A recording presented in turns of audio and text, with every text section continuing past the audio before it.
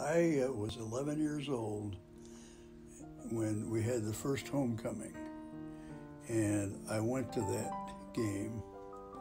And the reason I went was because my mother grew up in Linton, and we were playing Linton, and she was talking about as a child, you know, good old Linton and all that. I can remember where I was standing. It was down at the goal line, right on the goal line, uh, down there by the where the dressing room is. And uh, I went over in the bleachers. I remember Linton scoring. I went to the parade, really a neat parade. Uh, and then every year, when I was in high school, we would build a float. And even in junior high school, I was in the dramatics club, we had a little float.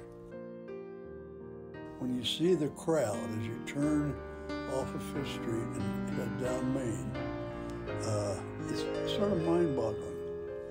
And I remember when World War II ended in 45, two years before this all started, going in a car down Second Street, and it was two two ways at that time in Main, and turning onto Main from the other end, and it was half mile an hour both ways, just an absolute bedlam.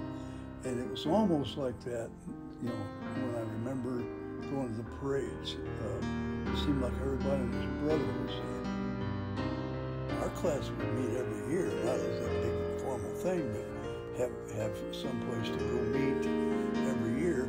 And you would see all these people from years before and years after that you didn't graduate from high school with, but you knew because you had been on, maybe the Y swim team, uh, a Y football team, boys league baseball, uh, in the band, you know, which plays a big part in the parade, or you you were in a, you know, like the dramatics club or Lincoln Play Shop or the Boosters Club.